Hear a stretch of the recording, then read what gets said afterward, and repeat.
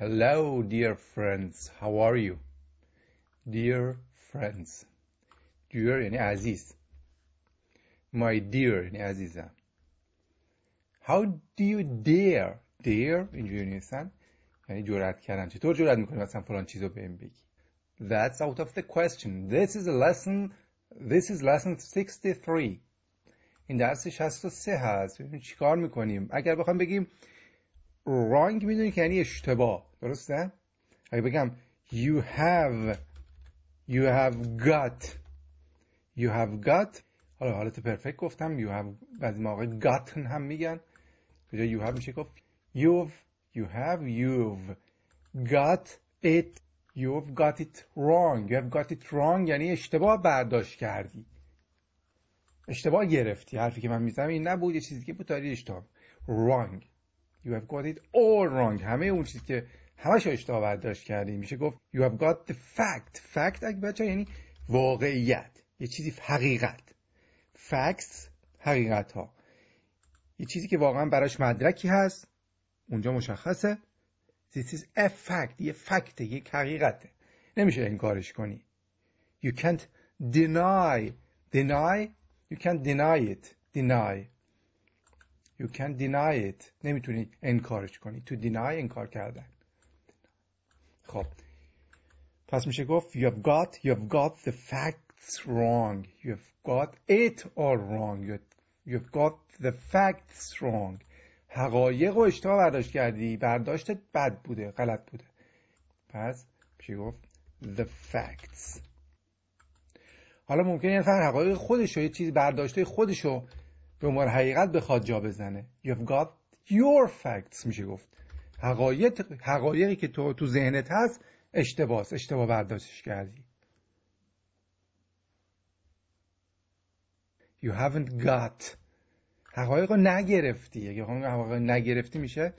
You have haven't got the facts. حقایق رو نگرفتی حقایق رو درست برداشت نکردی. پس to get, to get فعل هم هست. می‌بینید to get get got gotten. get got got یا gotten. بعضی موقع هر دو رو میگن. پس این gotten. gotten به چیز قدیمی تر بچه ها توی انگلیسی بریتانیایی انگلی بریتیش انگلیش دیگه کمتر استفاده میشه نمیشه. توی آمریکا ممکنه این مقدار استفاده بشه ولی got بهتره به نظر من. Gotten فرم قدیمی بوده و ممکن بعضی جا هنوز استفاده بشه. به هر غلط نیست. یعنی منظورم این که بخوام اینو بکنم gotten و اگه بگم بخوام بگم you have got the facts your facts wrong. اگه بخوام بگم you have got you have got the facts wrong می‌تونم بگم you haven't got the facts right. این هم میشه گفت نه؟ you haven't got the facts. اینجا میشه حقایق رو نگرفتی یا حقایق رو درست نگرفتی right wrong right wrong مثلا می‌تونم بگم فکر نکنم I don't think I don't think that فکر نکنم که you have got you have got the facts right فکر نکنم که حقایق رو درست گرفتی I don't think that you have got the facts straight هم میشه گفت straight مستقیم راست go straight ahead یعنی مستقیم برو جلو go straight ahead turn یعنی بپیچ left turn right بپیچ به left به چپ بپیچ به راست می‌بینید که این راستی تو اینم هست you haven't got the facts right right. Right معنی حق هم می‌تونه باشه بچه ها از همون سمت راست درستی حق از همون میاد. خب پس to turn یعنی پیچیدن. Go straight ahead یعنی مستقیم برو. خب get the facts straight پس get the facts. می‌تونه میشه دستت باشه اگر راست و مستقیم باشه. The facts get the facts straight. Straight این H دیگه straight این انگار خونده نمیشه اصلا می‌بینید انگار اینجوری straight اینجوری بنویسم می‌بینید که اینجوری بنویسم چه straight. توی آلمانی به معنی جنگ و جدله. Get the facts straight. مثلا میگه اول آقا این حقایق تو جمع و جور کن سر راست کن بعد بیا حرفتو بزن. همینجوری نه یه چیزی بگو. بعضی هم همینجوری یه چیزی می نویسن توی شبکه های مجازی. Next time دفعه بعد next time last time دفعه قبله next time دفعه بعده next time get the facts یا your facts هم میشه گفت get the facts straight حقایق تو سر راست کن مستقیم کن before you speak قبل از اینکه صحبت کنی قبل از یه چیزی بگی. Before you say something. قبل از اینکه تو به من بگی tell me. Before you tell me that. می‌بینید که tell me گفتن به من. اگه say بگیم say دیگه مستقیم بعد از say نمی‌تونیم می بیاریم. اگه بخوایم بگیم باید تو باید بگیم. Say to me. Next time get the facts straight before you talk to me. قبل از اینکه با من صحبت کنی. Before you talk to me. از اینکه با حرف بزنی ها؟ Talk to me یا with me. دفعه بعد اول حقایق ابتدا بگیرشون. Next time get the facts first. که مهم مهمترین چیزی که خیلی مهمم هست don't don't jump.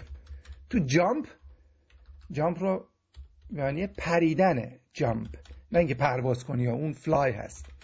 پریدن مثل مثلا خرگوش میپره از یه طرف به طرف دیگه. خوشحال هستی دستتون می‌بری بالا پرید بالا. این جامپ هست. Don't jump یعنی نپر. به آخر نپر به don't jump to conclusion. To conclusions.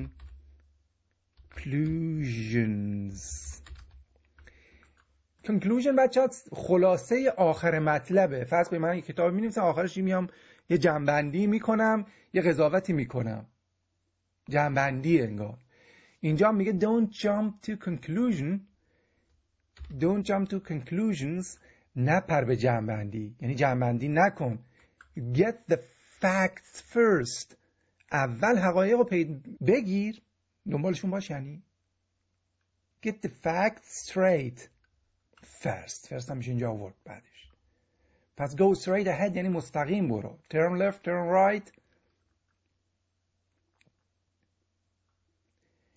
get the facts right اینا میخوام بگم مستقیم حالت امری بگم get the facts get your facts don't get your facts wrong don't get امریه دیگه don't get don't get the facts wrong don't get it all wrong میبینید you have you have got you have got it wrong اشتباه برداشتش کردی اینجا بخوام امری کنم میگم don't get don't get it all wrong همش اشتباه برداشت نکن don't get the facts wrong don't get your facts wrong اینجا دیگه haven't you haven't got the facts نگرفتی حقایقو get the facts get the facts straight get the facts first.